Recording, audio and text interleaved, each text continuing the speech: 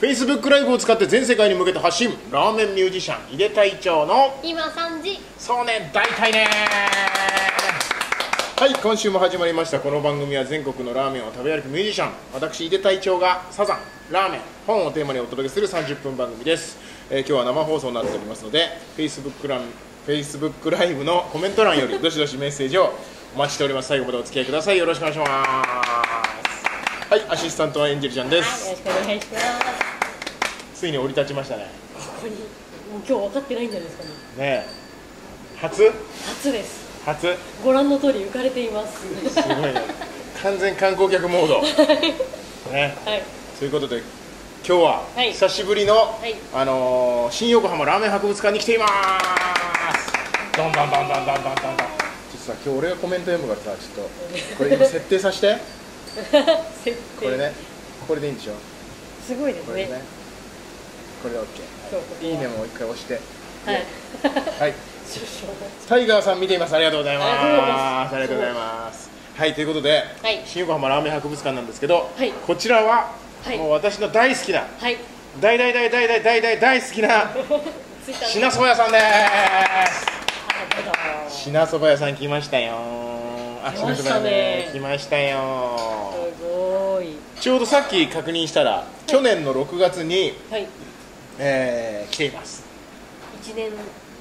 あのまあ私が去年の6月。月以来来てないわけもなく、しょっちゅう来てはいるんですけど 番組としてははねえー去年の6月以来来ておりましてね、はい。あの今日はまた新しいあのメニューがはい。品そば屋さんのメニューが楽しめるっていうことでね楽しみに来てるんで、はい。ね、えー今日盛り上がっていきたいんですけど、はい。番組の前始まる前にはい。これはもうご報告しとかないといけないんですけども、はいあのー桑田さんのいとこのあっこちゃんちの焼肉。茅ヶ崎のあっこちゃんちの焼肉のあっこちゃんが一昨日お亡くなりになったというご連絡が入りました、えっと、2月にあの今3時曽根大体の方でも茅ヶ崎のあの桑田さん勝手に誕生会っていうのを毎年2月に桑田さん誕生日なんでやってまして、そこで、えっと、あっこちゃんと奥さんとね出ていただいて放送もさせていただいたりとか、まあ、僕はあのえー、あっこちゃんの周年イベントとか、まあ、断るごとに呼んでいただいてはい。楽しい会をご一緒させていただいたんですけどね。突然のことで本当みんなびっくりしちゃってて、ね。はい、ちょうど昨日ご連絡があったんですけども。まああのー全然恩返しもできないまま亡くなっちゃったんで。あと桑さんのふるさとでもありある茅ヶ崎にねみんなの集まれるお店を作っていただいて、もう楽しい場所を作っていただいてたんですけどね、えーまあ、突然のことで本当びっくりしてるんですけど、あのーサザンファン一同ですね、感謝を申し上げるとともに、えー心からご冥福をお祈りしたいと思っております。あっこちゃんありがとうございます。ぜひあのーアーカイブでもね、あっこちゃんの元気な姿見れるんで、あのー見ていただければまたあっこちゃんも喜ぶかなと思っておりますが、えーご覧になってみてください。よろしくお願いします。はい、タイガーさん、あっこちゃんのご冥福をお祈りします。えー同じ飲食店を営む者としてとても残念です。ということで、はい、皆さん思いは同じですね。はい、心からご冥福をお祈りしたいと思います。はい、ということで、今週も本のコーナーからいきたいと思います。本のコーナー。はい、このコーナーは1冊10分で読める本の要約サイトフライヤーに掲載されている本の中からおすすめを紹介するコーナーなんですけども、はい。今日のおすすめはこちらです。ドン。初めてだね 立ち位置的に。ち。そうです。こっち。はい。今日の一冊は「トップも知らない星野リゾート」はい。という本ですね、えー前田晴美さんそれから月刊ザ21編集部の、えー編集で、えー PHP 研究所さんから出てる本なんですけども、はい。星野リゾート知ってます？はい、超知ってます。ね泊まりたいね。憧れですよね。憧れだよね。ね。えー国内外に約40もの宿泊施設を持つ星野リゾートね、他では体験できないユニークなイベントやプログラムが楽しめるホテルとして人気だ、そうらしいねすごいんですよね。すごい人気だよね。誰もが一度は泊まりたいと夢見ている。はい、そうです。私もです。泊まったことないんだよ俺も、一回見ますもんね、いつも旅行見るね。期間でね。ええ。で、えっと、その強さの秘訣とか組織の仕組みまではなかなか知られてないんだけども、はい。それをまとめた本なんですけどね、えー今の星野代表は4代目ということ。4代目。あそうですね。うん、意外と長いですね、一応ね、で4代目の星野代表は、運営に特化した経営方針を打ち出して、星野リゾートを全国展開するリゾート運営会社に成長させたと、うん。で最も力を注いできた仕事の一つは人を生かすための環境づくりである。サービスの充実とかそういうんじゃなくて人を生かすための社内の環境づくり。ね。で彼が作ってきたフラットな組織文化があるからこそ従業員をやる気を出して自主性を持って現場が意思決定できる体制が構築されたんだととにかく年齢やポジションに関係なく言いたいことが言える環境があって従業員にまあ成長する機会を与えて強みを伸ばす仕組みがたくさんあるらしいんだ。よでこれがびっくりなんですけどね、はい。星野代表は各ホテルが提供するアクティビティねいろいろ。うちはこういうサービス充実させたいですこうこうしたいですああしたいですっていうのに意見は言うが最終決定は現地スタッフに全部任せているだからこのトップも知らない星野リゾートってそういうことなんですよ。俺が知らんうちになんか始まってて盛り上がってんぞと。ああいやかっこいいでも。ねうん。本当だから信頼してるんですね現場をね。そうですね、そして星野リゾートは入社2年目以降の社員であれば誰でもリーダーや支配人に立候補できる。燃える。二年目よ。燃えますね。そんなのって2年目の支配人もいるかもしれない気しか出ない。そうやる気しか出ない。そんな星野リゾートのそのサービス面だけじゃなくて社内環境とかまでしっかり、えーあの取材して書いた本なんでね、ぜひ参考にしてみてほしいなと思っております。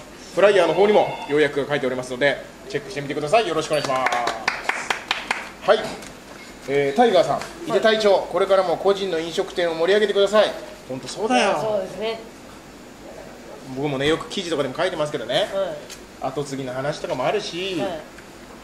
個人の飲食店さもうそれぞれがそれぞれの課題を持ってさやってると思いますよ、ええ品そば屋さんは、まあ、佐野実さん亡くなりましたけど、はい。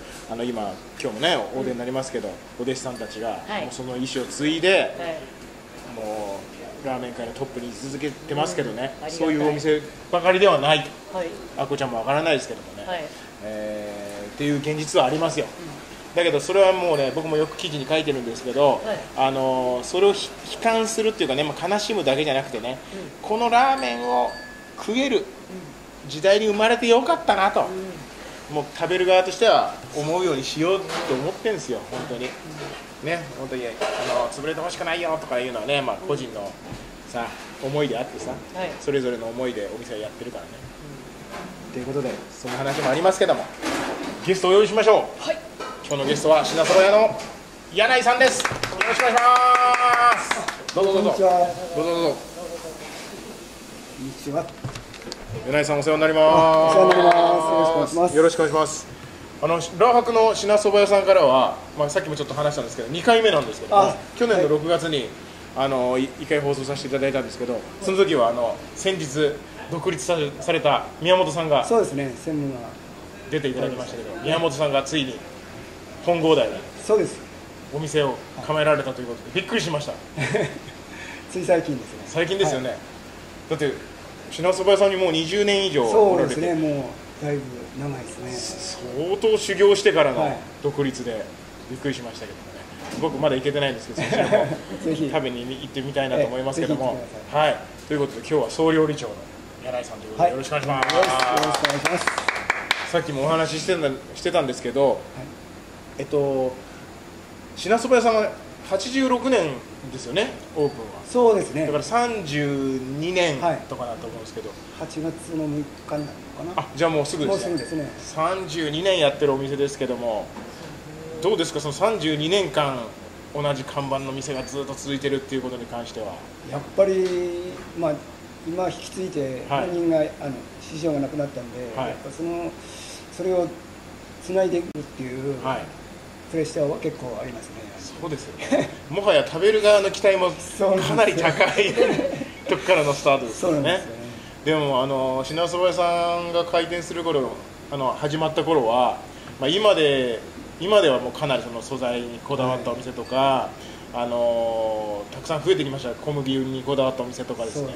増えてきましたけどその32年前にそんなことをやってたお店ってもうほとんどなかったんじゃないでしょうかね。そうないんじゃないですか、い。でやっぱり師匠の佐野がやはっぱりいろいろやっぱり作るのは好きなんじゃないですかい、うんうね、ん。それでこだわった食材っていうかもともと調理人なもんで、はい。師匠は。柳井さんがあの品そば屋さんにはい。入ろうと思ったのはなぜですか？やっぱり師匠のその麺にこだわる、はい。ラーメンにこだわるはい姿勢っていう。か、はい。まあ要は自分が好きでお客さんに美味しいものを食べさせたいっていうのが一番それは感じ取れますんで、うんうん。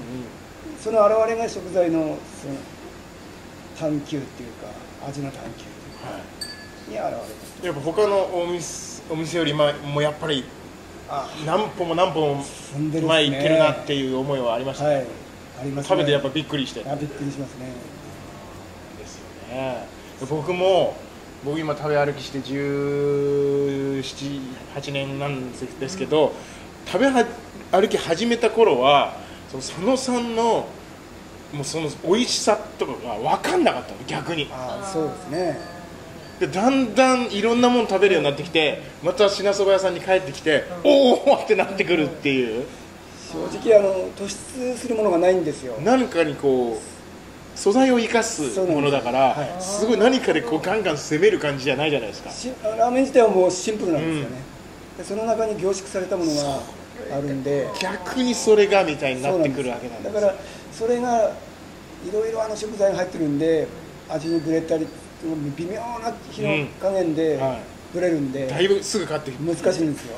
それを継いでるのが柳井さん。イエーイ。何年目になるんですか？で私はここに来て4年なんですよ。はいあここのララハクはい、はい。はいでその前に10もう20年近く前に師匠の縁でプロデュースはい。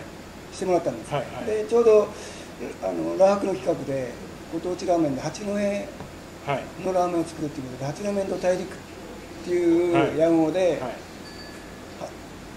佐野さんのラーメンを自分がやっ作て、で師匠が亡くなる前にはいちょっと迎え迎えにっていうか、うん。来てちょっと手伝ってくれっていうことうん。で新横に今来てそれからですね。歴史あり。はい。ね、たくさんの方が見てます。大谷さんありがとうございます。中尾恵子ちゃんありがとうございます。飯島さんありがとうございます。あ麺屋七歳坂田さんありがとうございます。星野泉ちゃんありがとうございます。はい。ありがとうございます。ジャイさんありがとうございます。みんな見てます坂田さんも見てますねこれも。まさか。ね。麺にうるさい坂田さんも見てますねねありがとうございます。で、えー、とこの夏ははい。限定ということでまた新しいメニューが。はい。これさ初めてらしいですね。夏の定番の王道といえるはい。冷やし中華です、冷やし中華ですよ。冷やし中華初めてなんですね意外と、なぜ冷やし中華っていうと、はい。私もともとあの中国料理の職人なんで,、はいはい。でやっぱり白そば屋のその伝統の味を守りつつ、はい。そのエッセンスを入れながら新しいその冷やし中華を、はい。ということであの今回はい。冷やし中華冷やし中華初めてって意外だよね。夏何やってきたんだろう。去年は担々麺でしたね。そうです今日のあ何をやってきたんだろうか今まで。意外と王道やってなかったっていうことなんですね。はい、はい。もうはい。よろしくお願いします。冷やし中華が出てまいりました、ありがとうございます、ちょっと一回これを止めて写真撮ります。ねすごい綺麗もうこっちこっちよりも携帯のま写ずやっぱ真をり食欲がそそる色彩すごいですね。すごいですよ。撮れてますかね？はい。凄まじい。こんな。もうちょっとここんな。綺麗綺麗。綺麗ですよ食べるのもったいない感じするんですそうですね。飾っててくださ。いじゃあ解説をまずおお聞きしながら僕はいただきたいと思います。はい。解説お願いします。えーとですね、はい。食材的には、はい。山水地鶏の胸肉ですね。山これを低温処理してます。低温調理。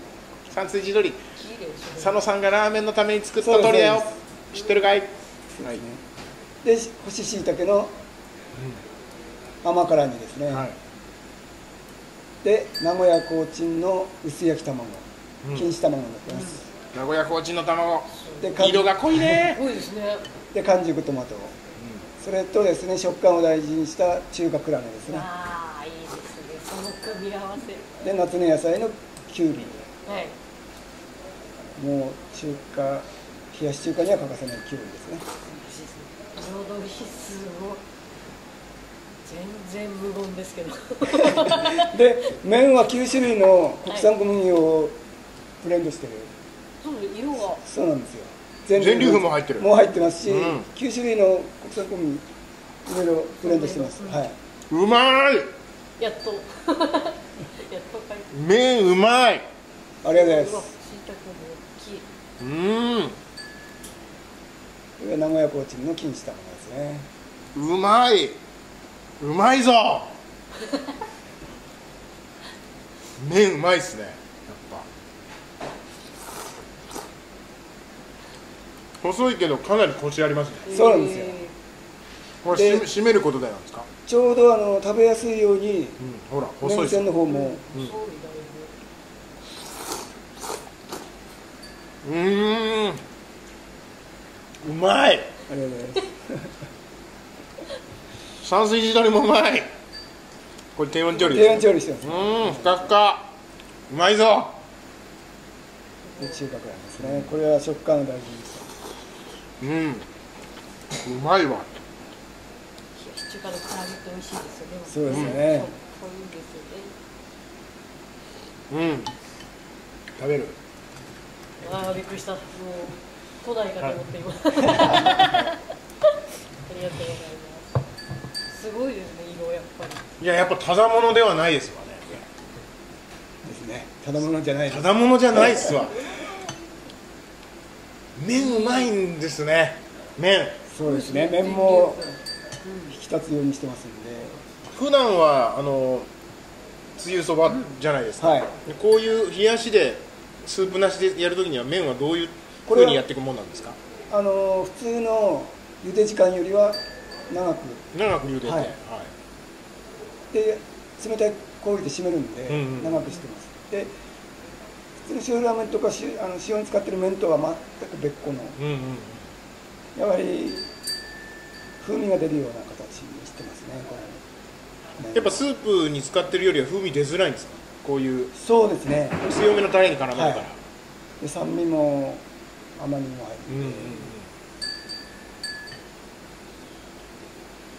うまいな。ジェレンさんどうですか？本当に細麺。品そば屋の。すごいですね。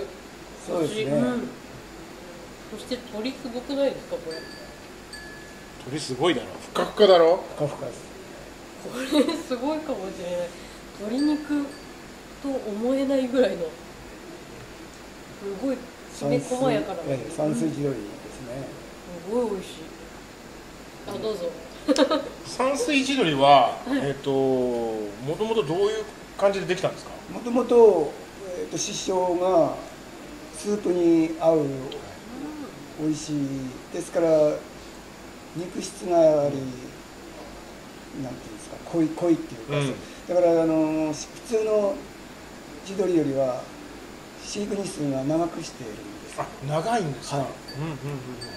ただこの冷やしに関して胸肉使ってるんで、はい。低温調理して肉質を柔らかくしてうん。やってます、うんうんうん。本来はあのスープに使う鶏なんで、うんちょっと硬そうですよね。硬いんで。あそうなんですね、はい。もともとじゃあいろいろな鳥を試してきたけれど、はい。えっ、とこれというもうこれだっていうのに見つからなかったってことですか？そうですね。で自分がいろいろまあ何年かかけていろいろ掛け合わせて、うんうん。でできたのが山水地鶏今やねあのー品そば屋じゃないお店でも使ってるお店は結構ありますし。ねそうなんですよ。でもともとスープ用に作ってるんで丸鶏として提供してるんで、はい。なかなかこの部位としては使わないんですよ、うんうんうん。あじゃあ肉を食べるれるっていうお店はない。ですからこうおそらくこのえー。形でやれば幻になる可能性あるんですね、あー。幻の低温調幻理にになっちゃうなこのふかふか。なるんですね。すごいのに、はい。すごいのに。そうなのか美味しいよやっぱり。でも醤油ラーメンも美味しいんだよね。迷っちゃうなこれいいですね。お友達と来て。お友達と来ていろいろ頼んでほしいですね。ありがとうございます。ぜひ。ね。そうですか。こういうあの限定麺っていうのはどういう感じで作っていくの作っていくものなんですか？今年はもやはりそのう冷やしだぞ。そうですね。その時代時代っていうか、うんに合わせながらその流れがあるんでやっぱり食べ物っていうのは合わせながら、まあ、何ヶ月か前に、あの決めるんですけど、そして試作をか重ねながら提供っていう形してますね。本当になんかなんていうんですかねどのメニューをこう食べても品そば屋さんっていうのが分かるっていうのは何なんでしょうかやはりね、その辺がやっぱり自分たちも難しいところで。そうですよね。だからはいいきなりね。品そばや豚骨ラーメン太麺でってわけにいかないもんね。も うイメージ的にその品そば屋らしいっていうのがうん。定着してるんで不思議なんだよな。だから品そば屋のエッセンスを引き継ぎながらずうんっと新しいものをやっぱりこれからやっていかなきゃいけない。しそれが顔の見える料理的なことなんでしょうねねきっとねね。で作った先にやっぱり喜んだお客さんの顔がやっぱり自分たちを浮かべながら。ね喜んだ顔もありそうですね。これを佐野さんが食べたらなんて言うかなって。言われるものは出せない出せない難ですとね佐野さんはどんな師匠でしたか？や。厳しかったですか？厳しいですね。厳しいし非常に熱いですね。情に熱い。だからやっぱり自分たちがついてきたし一番印象に残ってることっていうのはありますか？りいろいろたくさんあるんですけど、はい。やはり仕事は厳しくてもやっぱりへこんだ時とかは一緒に飲んでお肉だとそうですね。で師匠もあの職人なんで、まあ、もちろん経営なんでもう社なんですけどもともともうき職人だから自分たちの気持ちっていうのはやっぱ分かるんですよ分かるんだ。よくやっぱ自分があのへこんだ時とか「お前プロだろ」って言われた時はあったっすね。はいはいこれ無理だろうって自分たち思う時にはでも「お前プロだろお前プロだろそう。もうそれ以来自分はもうプロだ。言い訳しないっすね。プロは言い訳しないぞ。しないっすね。ねいい話聞けた。本当かしろって感じですね。お前プロだろう。まいもの作れよって感じですね。プロならうまいもん作って当たり前だろって。そうですそうですそれはやっぱり一変があったっすね。うーん。いいですね。師匠の味が受け継がれてる、はい。そして冷やし中華。めちゃうまいよ。相当うまいよこありがとうございます。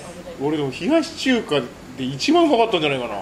なんかあのすごい甘いのあるじゃないうん、ですか、あんまり冷やし中華って食べないけど、うんこれ狙い食いしていいもんね、いやー醤油ラーメンとシェアしてほしいよ友達と。ねえ。ねえいいと思いますよ。今日井出隊長バンドのライブに来る方もぜひ。あそうです。食べに来てくださいよ。ねお仕事帰り。ねお待ちしてます。はいということでじゃあ、はい。曲流しますかね。そうなんです。はい。じゃあ前回の井出隊長バンドのラーハクのライブから「い。なせなロコモーション」聞いてください。どうぞ。One, two, three.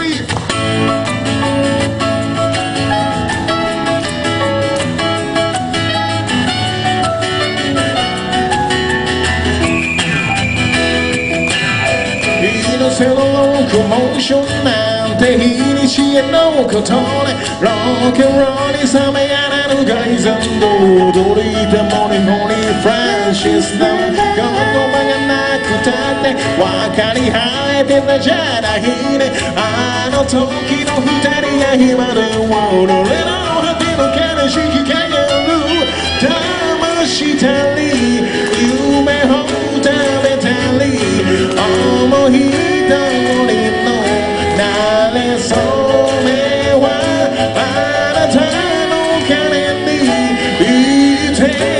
かせて世間が見たらきっと不気な女にこけサバイバー思う君なら愛なんてのやめて One, two, three あなたと取り捨て踊ろうよマッシュパーティーお父さんもお母さんもお出かけ二人きりなの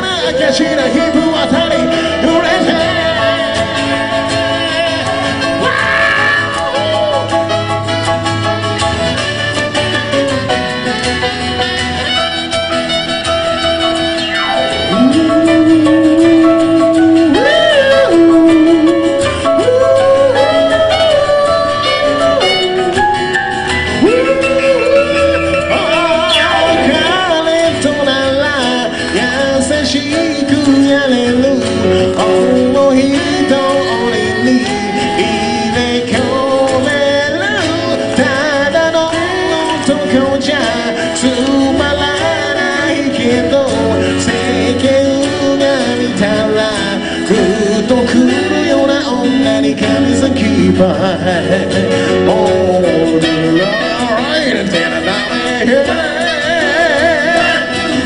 あなたと取り捨て Oh, you're much more taken お父さんもお母さんもおにかく二人きりなの Wow, wow,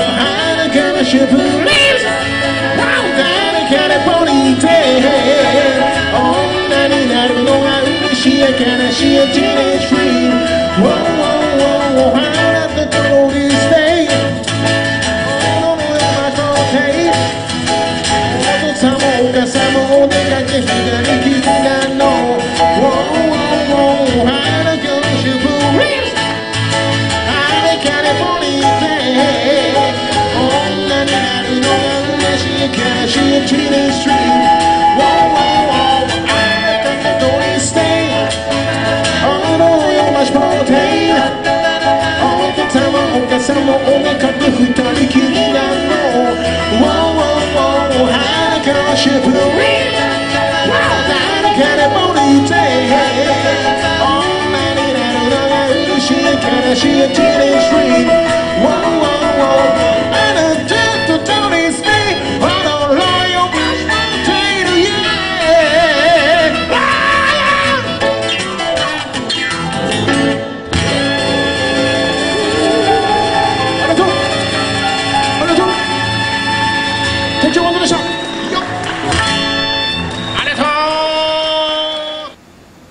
聞いていただきました。稲瀬なロコモーションでしたけど。稲ロコとか聞くともう夏が来た感じするね。いいですね。ここは涼しいけどね。外暑いからね。暑い。本当暑すぎるよ。何なんですかね今年は。そうですよね。絶好の冷やし中華日和じゃないですか冷やしがどんどん、でもここにたどり着いていただければもう館内涼しいですから。はい。ね。ねその中で。本当。一日中昭和33年をこの昭和33年の雰囲気を楽しんでいただけますからね。昭和33年は生まれてた方いるんでしょちょうどね、60年前です。60年前。私はその次の日です。あ次次のの年年ですね次の年。じゃあでじゃあでもでもじゃあこんな感じだったんですか？生まれた当時は。ああやっぱり田舎なもんで懐かしいっていうことはですね。うん。そんな雰囲気の中ね全国のラーメンを飛行機に乗らずに全国の美味しいラーメン食べれちゃうんだよ。ね新横浜駅から徒歩5分。そして品そば屋は、はい。えー入って右で出て右っていうかね下に降りずに右。はい。ね。ぜひ今日あの体調バンドのライブ来る人も足運んでみてください。よろしくお願いします。お願いします。はい。エンジェルちゃんは告知ありますか？えー、っといやキンキンのはないかな今回は。キンキンのない。はいで改めまして体調バンドは今日7月19日木曜日20時から20時この下でやります。この下で。仕事帰りにぜひはい。投げ銭だけだからはい。ね。そしてラーメン食べてってください。はい。はい。深いでカフェ、えー7月28日土曜日、えー来週？来週末？来週末だもん。名古屋のロックス栄で深町さんとワンマンライブ。名古屋行くよ暑そう。暑いんですよ名古屋暑そうどうしよはい、うね。えーそしてそして8月23日の木曜日新橋のライブカフェトゥモローズでゲストがグレート義太夫さん。義太夫さん暑いよ。どうしよう。ね。義太夫さんのお話でもっと熱くなろう。はい。はい、それから、えー10月5日にハッピーエンドの3周年記念ライブが、えー、駒込ワイワイホールであります。ということで、これはマニアックですよ、10月5日金曜日、はい。予約開始してるんで、ぜひ、えー、とい愛しのエリーズのトワさんとスペルマーズの圭介さんもゲストでできます、よろしくお願いします。はい、ということでございまして、楽しくやらせていただきます、美味しく楽しく、も美味しく。うラーハクの放送は最高だ、美味しく楽しく。幸せです幸せですよ。やっぱさ今日も話を聞いて佐野さんの DNA が脈々と続いていることが分かった。ですよ。個人店大変ですよねでもね。ですねなかなか。本当ね味だけじゃないですもんね継ぐものって。時代も変わればあれも変われば本当大変ですけどね。ラーメン屋さんみんな応援してますよ本当に。それぞれのあれかと思いますけどね。本当応援してます。美味しいラーメンをね一人でも多くの人に届けてください。ありがとうございます。品そば屋さんも頑張ってください、ありがとうございます。はいということで今日は、えー新横浜ラーメン博物館の品そば屋さんからお送りしましたけど、来週は一つフロアを降りましてはい。これまた僕の大好きなミラク。ミラク再び。ミラクさんも冷やし作ったらしいですよ。そうですね。食べました？食べました。食べました、はこれどうでした？いやうん秘密です。秘密です。楽しみにしてください。来週秘密来週のの楽しみに。ミラクの冷やしを食べちゃいますから、はい。来週はだから昆布ですよ。でもミラクも素材を生かしたラーメンですよそういう意味では。あんなに昆布の味するラーメンないんだから、ね、ということで来週も新横浜ラーメン博物館からお届けします。はいということで今週のゲストは品そば屋の柳井さんでした。ありがとうございました。アシスタントはエンジェルちゃんでした。